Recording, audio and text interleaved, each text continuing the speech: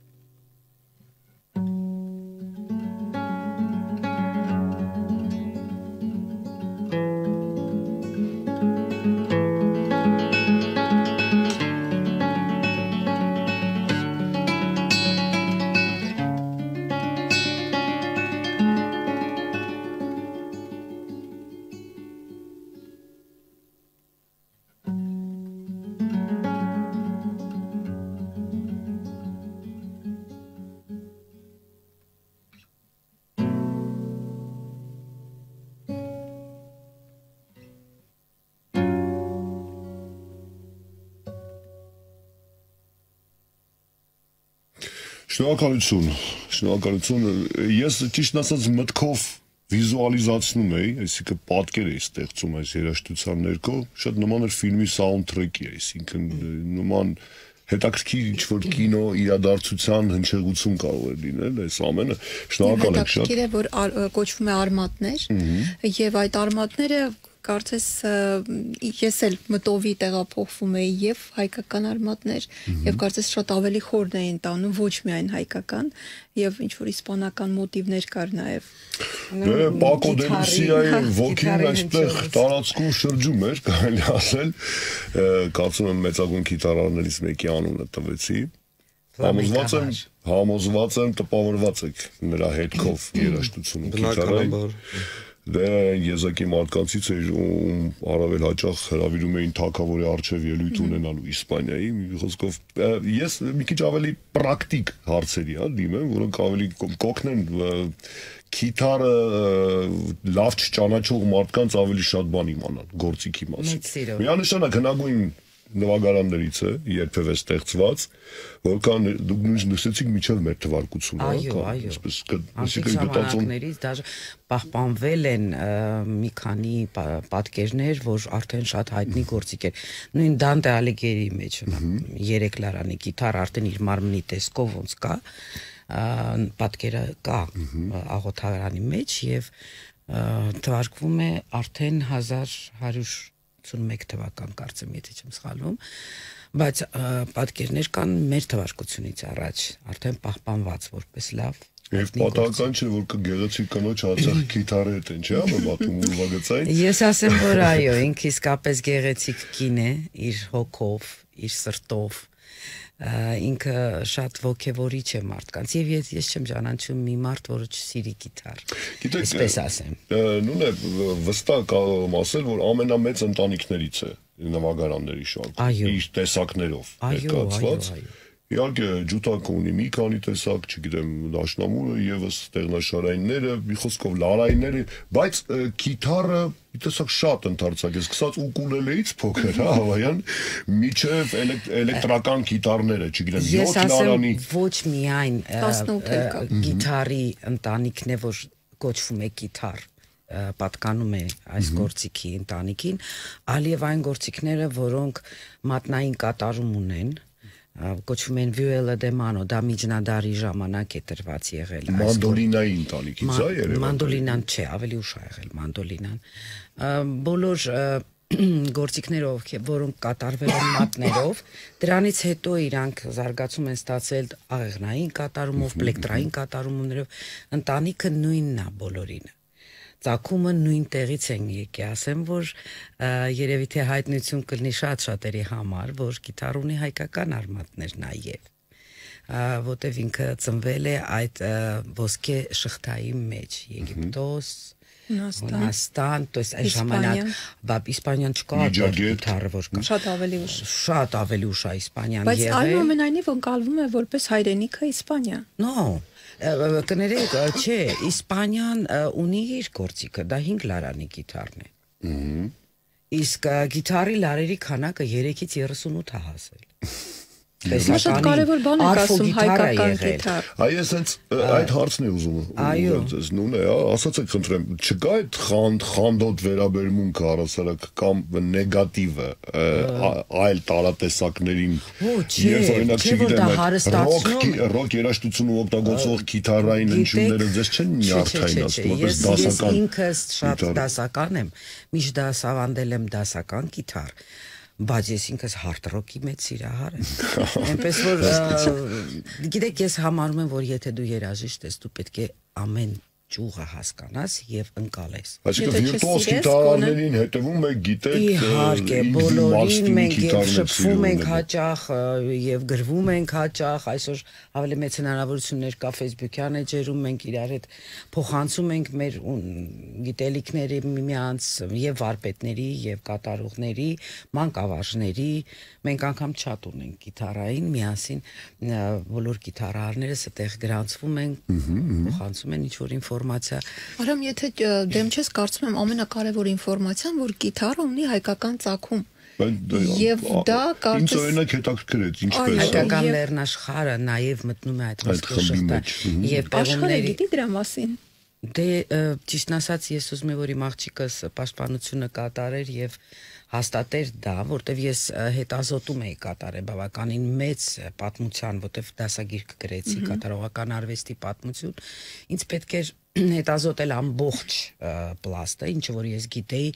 ինչը որ ինձ բաց էր եւ ես դա ամբողջը արեցի աշխատանքը եւ հենվելով նաեւ Ցիցիկյանի աշխատանքի հետ, Անահիտ Ցիցիկյանը հայտնի ջութակահար գիտեք, նույնպես պրոֆեսոր նա արել էր մեծ աշխատանք դեռ հələ սովետ միության ժամանակ եւ գտել էր որ ջութը առաջացել է հայկական լեռնաշխարի ցակում ունի նույնպես եւ այստեղից մենք ոնց որ ես վերցրեցի հիմք եւ ավելի խորացա Բոբոխյանի աշխատանքը նայեցի բոլոր այդ պեղումներից ստացված ինչ որ գտոնները, հա, որ գտել են։ Գտածոները, հա, գտածոները, այո, կներեք։ Իրանց ուրեմն միջոցով կարողացա հասնել նրան, որ ախր մենք ջութակից ավելի շուտ ենք եղել եւ ավելի մեծ պատմություն ունենք եւ իհարկե գտա գտա հատվածները գտա այդ աշխատությունները, որի հիման վրա արդեն հետազոտում գնաց իմ աղջկա կողմից եւ ինքը սկսեց դրա մասին խոսել, ասել եւ իհարկե պատրաստվում է պաշտպանության։ Որն է հայկական գիտարի գլխավոր առանձնահատկությունը։ Ինչով է տարբերվում։ Գիտեք, ես սենց ասեմ, գիտար հայկական գիտար սենց հասկացողություն չկա։ Գիտարը դասական է դարձել։ Սա պոլիֆոնիկ գործիք է։ Շատերը իհարկե ասում են, չէ, դե գիտարը դա սիրողական։ Ոչ, գիտարը միակ այն գործիքներից է, որը ունի հնարավորություն ստեղնաշարայինների հավասար պոլիֆոնիկ հնչողություն։ Նա կարող է միաժամանակ եւ նվագել եւ նվագակցել, կատարել բախի տոկատաները եւ ֆուգաները արգանի համար գրված։ Դուս այդ ամբողջը տեղափոխված է գիտարի վրա եւ ունի մեծ շուիտներ, մեծ ուվերտյուրաներ, սիմֆոնիկ ստեղծագործությունների։ Շատ կոմպոզիտորներ ցանկացել են ներգրավել գիտարը օրկեստրի մեջ։ Զուտ մենք մի քիչ դժում ենք մեր ձայնի փոքրության համար եւ միաժամանակ լարվել ունիսոն այն մաքրության ինչ որ ճուտակը կարող է անել եւ պահպանել, մի քիչ դժվար է գիտարին։ Սա տեխնիկական խնդիր է։ Իհարկե այսօր մենք ունենք արդեն մեխանիզմներ, որի միջոցով կարողանում ենք, բայց արդեն օրկեստրը ձևավորված է եւ միայն ինչ որ սոլո կատարումների դեպքում, ինչ որ պարտիաների կատարելու դեպքում իհարկե կիրառվում է գիտարը բայց ինքը պետք է ուժգնություն ունենա։ Այնտեղ դա միկրոֆոն է, դա էլեկտրոնային, արդեն բնական իր ձայնը, ոնց որ չի փոխանցվում այնպես ինչպես որ պետք է որ լինի։ Նույնը, եթե համեմատենք 10 տարի առաջ, 20 եւ հիմա գիտարով հետաքրվողների թիվը պակասում է, ավելանում է։ Ավելանում է ավելանում է անդադար, որովհետև ես արդեն տեղյակ եմ 68 թվականից սկսած իմ հայրիկի այսպես ոնց որ դուք նշեցիք Էդուարդ Բադալյանի աշխատանքը ոնց է սկսվել, որ նա առաջինն է եղել եւ հիմնադրել է դասական դպրոցի սկիզբն է տվել մեկնարկը եւ բացել է առաջին իսկ դասարանը այստեղ կրթելու երեխաներին դասական գիտար արդեն եւ այդ ժամանակվանից սկսած աճում եւ աճում է Եթե իմ հայրիկս հասցրեց իր կյանքի ընթացքում տալ 8-9 մասնագետ, ես ավելի քիչ եմ երևի թե աշխատում, չէ նույն ժամանակահատվածում ես արդեն տվել եմ 30-ից ավելին մասնագետներ то есть Սերնդափոխություն։ բայց ա, մասնագետ ոչ թե կատարողներ աշակերտական կատարող Դասավանդող մասնագետ։ դասավանդող մասնագետների մասին է խոսքս գնում Ա, թե չէ աշակերտի քանակները ասելա 3000-ից հետո էլ սկսեցի չհաշվել թե քանի աշակերտ Ներողություն, իսկ տարբերությունը շատ մեծ է, երբ դուք ը, ձեզ մոտ գալիս է աշակերտ եւ դուք ոնց եք հասկանում, որ ինքը լինելու է միայն կատարող, թե նաեւ լինելու է մանկավարժ։ Գիտեք, ես միևնույնն է պատրաստում եմ մանկավարժ։ Եթե կա- մ, կատարող լինելը շատ բարդ է։ Բայց Յուրաքանչյուր բոլորը ուզում գործիքի։ են կատարեն, չէ՞, Դե առաջին դե հերթին։ կատարել իրանք պատկերացնում են 2-3 ակորդ նվագեն։ Դե հենց Բայց 2-3 ակորդ չի գիտարը։ Դե բայց ինձ- Վիսոցկուն բավական էր։ Վիսոցկուն Վիսոցկին իհարկե իհարկե բավական երկիչ էր։ էր ավելի շատ, քան ավելի Գիտարը պոետ ստեղծել, բանաստեղծեր, այո։ Բայց ոչ գիտարահար իմ ուղակ ինքը նվագակցում էր ինձ իր գործերին բայց կատարող գիտարար դա շատ ծանր եւ դժվար գործ է ես մի հատ փոքրիկ օրինակ կարամ ուղակի բերել որպեսի པարզ լինի լսողներին մենք ունենք լար եւ մի հատ կսմիտ ըհը եւ էլ ոչ մի օկնական То есть եթե ստեղնաշարայիններ ունեն pedal, ունեն ինչ որ բան որ կա աղեղնայինը կարող է աղողով ձգել ձայնը եւ մենք չունենք այդ հնարավորությունը։ Այստեղ կա միայն թրթռումը լարի Այո։ Եվ- եւ պիտի այն այն ուժով, այն ճիշտ հաշվարկով այդ ամեն ինչը կատարվի, որպեսզի կարողանան կանցիլեն ստեղծագործություններ, կապել ձայները մեկը մյուսի հետ, նախապատրաստել ձեռքը եւ այլն։ Շատ շատ եւ հատկապես երկու ձեռքերը կատարում են տարբեր գործողություններ, մեկը սխմում է, մեկը քաշում է։ Մնացած այլ գործիքների մոտ նույնատիպի է շարժում։ Վերջերս նաեւ որպես հարվածային է օգտագործվում։ Դե մենք միշտ ենք ունեցել, դա այդ վերջերս չի, ուղղակի վերջերս ավելի շոու են սարկում դրանից իհարկե, բայց այդ բոլոր տեխնիկական հնարքները դասական գիտարի մեջ կան, նույն ֆլամենկոյի անգամ կատարողները վերցնում են շատ բաներ դասականներից, որովհետև դա Այսպես լուր մեզ լսող երիտասարդին, հա, մի արդ իմ պատանեկության տարիներին անկեղծ ասած կոլեկտիվում տղան կամ աղջիկով գիտարի էր տիրապետում շատ մեծ, հա, հա, այսպես հեղինակություն էր վայելում։ Հիշում եմ այսօր ապես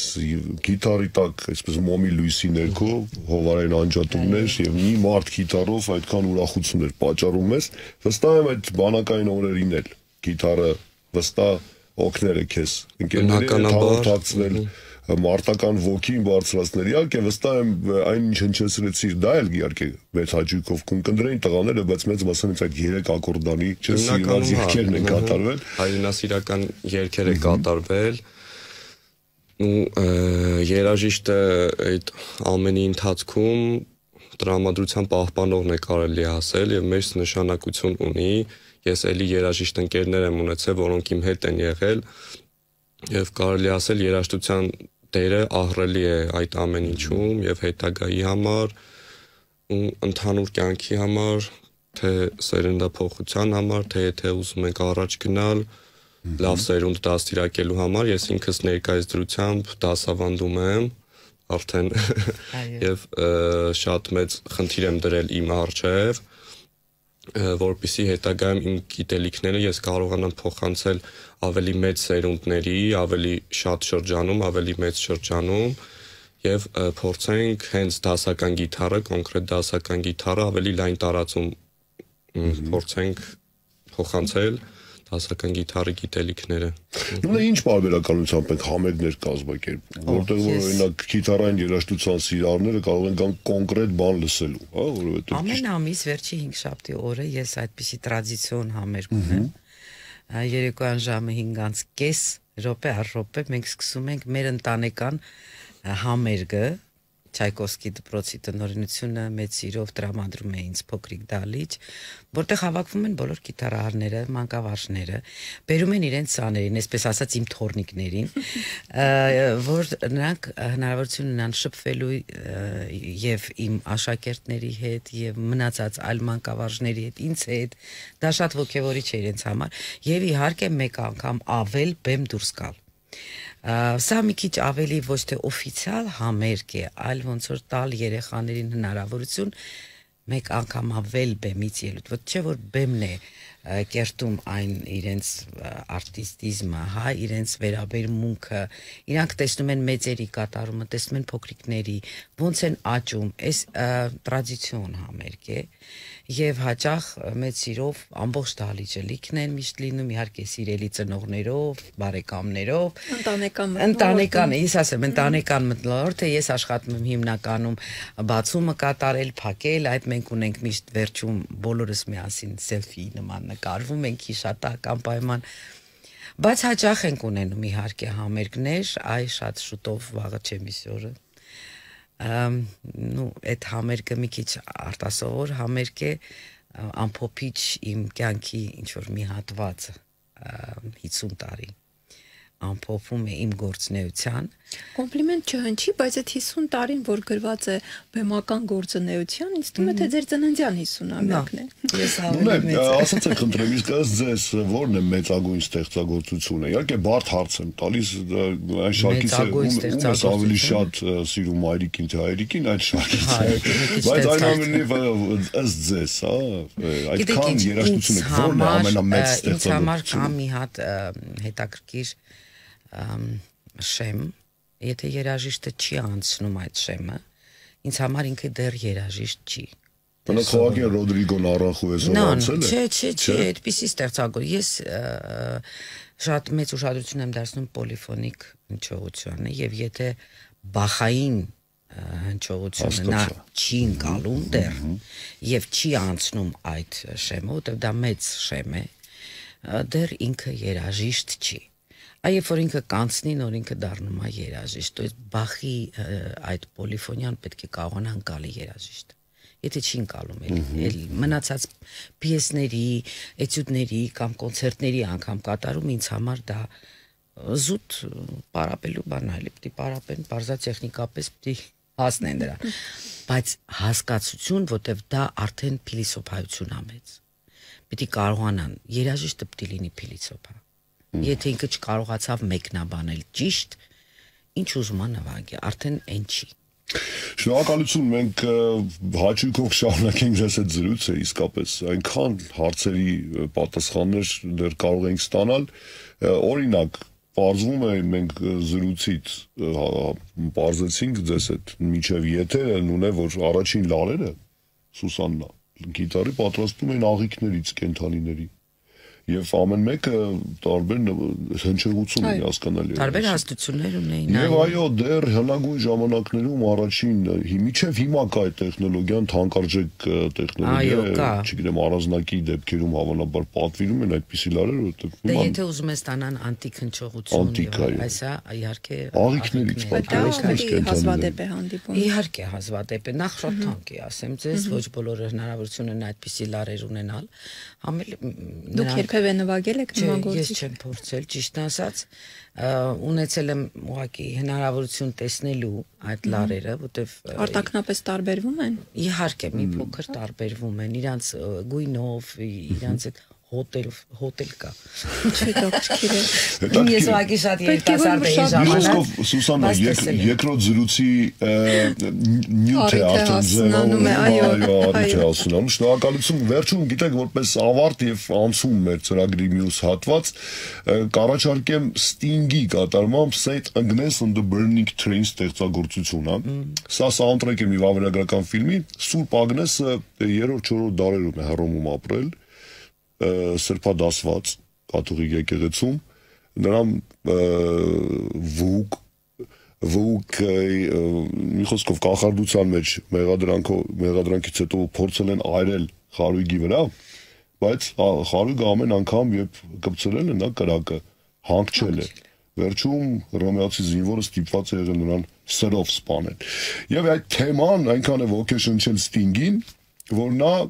առանձնապես գիտարար չլինելով իդեպ դա այլ ասեմ ձեզ այնուամենայնիվ հաճույքով, համարցակվել է այս թեման երաշտական կերպով ներկայացնել իր ալբոմներից մեկում եկեք դա լսենք շնորհակալություն ենք հայտնում ձեզ հարգելի հյուրեր որ մեզ հետ եք մենք դեռ կհանդիպենք մենք կիսատ մնաց խոսել Այո, եթե դեմ Իհարկե, չես համերգի մասին եւս իհարկե մի իհարկե հաճույքով ա, ինչ կհնչի համերգի ընթացքում, ինչ ծրագիր եք պատրաստել։ նո համերգի ընթացքում ես ընդգրկել եմ ստեղծագործություններով, որը որ կան իմ դասագրքերում, մի քիչ դա ենք ներկայացրել, եւ բացի դրանից կհնչի իհարկե հայրիկիս գործը, էքսպրոմտ Էդուարդ Բադալյանի գրված, եւ տղաները կներկայացնեն մեծ շարք Պիացոլայից բավական հետաքրքիր, ոչ այդքան հաճախ հնչող դուետ անգամ ունեն պատրաստած Դե փորձել եմ այնպիսի ռեպերտուար ընտրել, այնպիսի երկացանք, որպիսի մարդկանց հաճելի լինի եւ կարողանան իրանք այդ երեկոից ը, տանել գեղեցիկ երաշտական հնչյունները գիտարի մտովին պահելով այն իրենց հիշողության մեջ։ Ռոլանդ Դիանս, Գարտել, Պիացոլա Կոմիտաս Այո, Խոսքով տանգոյական է, Այդ ոչ ամբողջն է տանգո, բայց հա, Տանգո, կոմիտասը նոր անսպասելի էր համաձայնվի։ Գարդելի օրկեստրը, ինչպես գիտես, այդ հայտնի կնոջ բուրմունքը ֆիլմում, հա, Գարդելի օրկեստրն է։ Այ դա էլ հենց վերջում հնչելու է իմ մշակմամբ իհարկե ա, ա, կկատարեն երեք գիտարահարներ, թավջութակահարը, կոնտրաբաս, իմ գիտարահարներից մեկը կոնտրաբաս է նվագում, Տիգրան փոխադրությամբ։ Այո, եւ ջութակահար Արման Ամալյանը եւ թավջութակահարն էլ Հենրի Յենգոյանն է կատարել։ օրը կա Երկանյանը։ հարցը, որովհետեւ թե Պիացոլա հավանաբար Հայաստանում բայց կա նվագող բանդեոն։ դու չգիտեմ, պիտի որ դե ակորդեոնի տարատեսակ է, պիտի լինի, չի կարող չլինել։ Ակորդեոնը դե երկու որ կա։ Լավ, շնորհակալություն շատ։ Հաջողություն։